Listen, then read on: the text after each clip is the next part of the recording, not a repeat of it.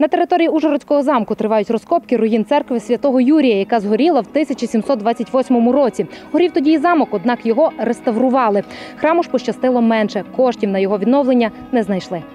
Хоча у планах її відновлення було, коли у 70-х роках 18 століття в Ужгороді планували розмістити центр Мукачівської греко-католицької єпархії. Замок і його територію розглядали як місце імовірної резиденції. Однак реконструкція вимагала значних коштів, і від цієї ідеї відмовилися. Тим паче, що у 1773 році місто залишили єзуїти і фактично пустував теперішній Хрестовоздвиженський кафедральний собор, який і обрала собі єпархія за осідок. А про залишки цього храму забули. Варто додати, що саме у цих криптах свого часу ховали представників знатного роду другетів, яким належала фортеця і місто загалом до кінця 17 століття та інших знатних городян.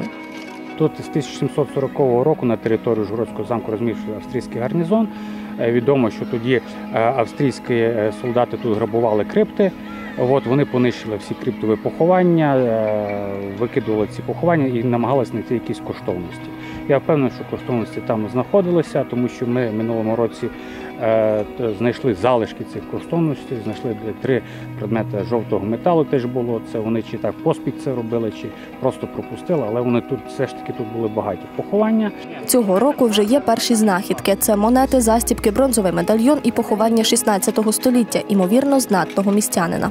Отут є такі чорні бусинки, вони є різного розміру. От, е, тут ще біля нього, тут недалеко теж ще ці бусинки були знайдені. Скоріше за все, судячи тому, що воно різного розміру, і там е, такі специфічні елементи е, були. Це вказує, що тут були чотки в цьому похованні. І тут ви бачите залишки, так ну це археологічний текстиль, залишки одягу. Чому це зберіглося? Саме ці фрагменти. Е, Це такі мотузочки, вони е, зроблені за допомогою таких металізованих ниточок. Археологічний текстиль це дуже рідкісні знахідки, можна встановити. е, Є спеціалісти, які можуть за цими деталями встановити, який саме одяг був у покійного, яка технологія виготовлена, що саме був він одітий, коли його ховали. Поруч з покійником знайшли шаблю. Її вже передали спеціалістам на реставрацію. Першу чергу, е, що ми з такими речами робимо? Ми промиваємо їх від ґрунту і від е, всяких забруднень е, поверхневих. Далі вже буде проводитися сама консервація металу і намагаємося від, відчистити ну, максимально від корозії, від тих нашарувань. Зараз ви бачите її в процесі реставрації, тобто вже відбулися перші промивки і вже видно форму самої шаблі. Е, От бачите, тут навіть проглядаються такі е, три ну, так звані боростки або кровостьоки, їх ще наскільки називають, і є залишки руків'я е, дерев'яного.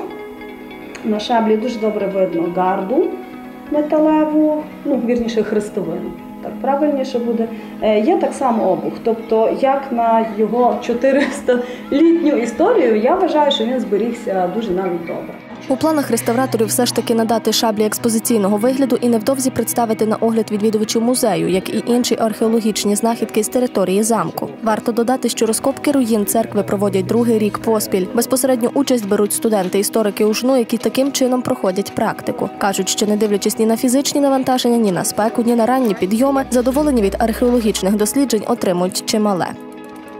На першому тижні було мало тяжко, непривично, бо це є фізична праця, тяжка вона, але з кожним днем було цікавіше, бо ми знаходили різні монети різного століття.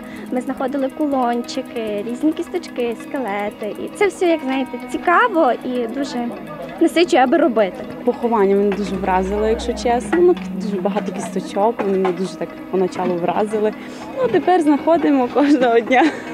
О, кісточка класно поставили і склали таку багату вже купу знайшли. Я представляла, що ми, да, як ви кажете, прийдемо кісточку, помахаємо, щось знайдемо. І все, нараз е, багато, але ні, треба було спочатку покопати глибоко-глибоко, щоб щось знайти. Розкопки триватимуть до 20 липня. Археологи сподіваються, що їм вдасться трохи більше дізнатися про церкву та й фортецю загалом, адже ця територія досить слабо досліджена. Тим паче, що навіть немає достовірних даних про час появи тут замку. Навіть є така версія в літературі наукової проході, що ця церква, руїни цієї церкви вони були більш ранніми являються, ніж е, є замок, який ми зараз бачимо. Так що тут дискусія, що було раніше. Це церква, хтось вважає, це був монастир навіть, а потім, після того, як монахи пішли, тут вже побудувався замок. От. Е, такі от є питання, тому це все треба досліджувати комплексно. Як саму церкву досліджують, так і стіни самого замку.